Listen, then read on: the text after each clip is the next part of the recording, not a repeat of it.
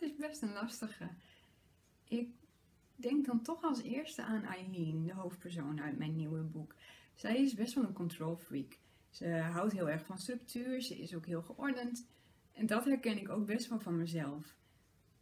Tegelijkertijd zette mij dat ook wel weer aan het denken toen ik haar juist leerde om vertrouwen te hebben in situaties waarin de dingen anders gaan dan je ze had gepland.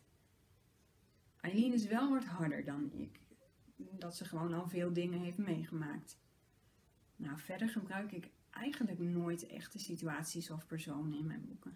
Dat moet ook niet, want straks vertrouwt niemand mij meer omdat ze bang zijn in een boek van mij terecht te komen.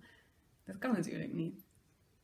Maar ik denk wel dat er veel herkenbare gebeurtenissen in mijn verhalen zitten. Mensen zijn boos, mensen voelen zich gekwetst, mensen zoeken naar hoop en naar geluk. Ik denk dat mensen ook veel steun zochten bij hun geloof. Misschien toen nog wel meer dan nu, want ja, het leven was gewoon in zijn algemeenheid een stuk zwaarder. Maar toch hoop ik dat ook mijn hedendaagse lezers wel ja, bemoedigd worden door dat Eileen en Matthew uh, hier ook mee worstelen en uiteindelijk dan een weg in weten te vinden.